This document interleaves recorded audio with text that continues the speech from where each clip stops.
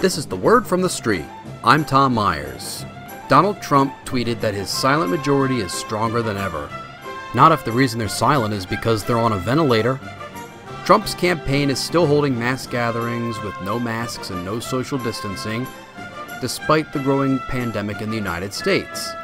Ironically, I've always found myself wanting to socially distance myself from the sort of person who would go to a Trump rally.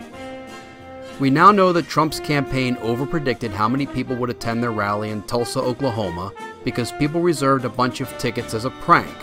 You see, I was thinking about doing that, reserving four tickets under the name LaDavid Johnson. Trump is so committed to not stopping the coronavirus infections and deaths that I think he believes that COVID 19 is the name of a new assault rifle. I'm amazed at how Press Secretary Kayleigh McEnany can keep a straight face when delivering the Trump party line. I keep waiting for her to blink to see if she's signaling for help. Mexico is closing its border with the US at Sedona, Arizona. Maybe that Trump campaign promise of Mexico paying for a wall will finally happen. Trump got input from the law enforcement community prior to signing his executive order on police reform. That's like getting input from former Nazi officers on how to conduct the Nuremberg war crimes trial. Donald Trump likes to say he's in favor of law and order, the closest he'll ever come to Law and Order is being portrayed as a criminal on the SVU spin-off. The IRS is now asking that hundreds of thousands of dollars in stimulus payments sent to inmates be sent back, citing they were only supposed to go to prisoners who were Trump campaign officials. John Bolton says Donald Trump is unfit for public office. That's like Jeffrey Dahmer criticizing Mario Batali on his culinary skills and his treatment of women.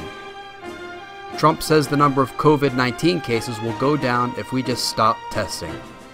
Similarly, I can stop cleaning my toilet if I just start pissing myself. Problem solved.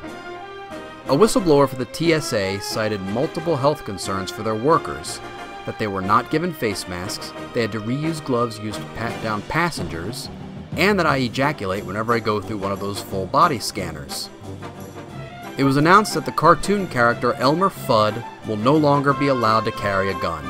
I think it's because he was the one who was training the Atlanta Police Department on how to discharge their firearms.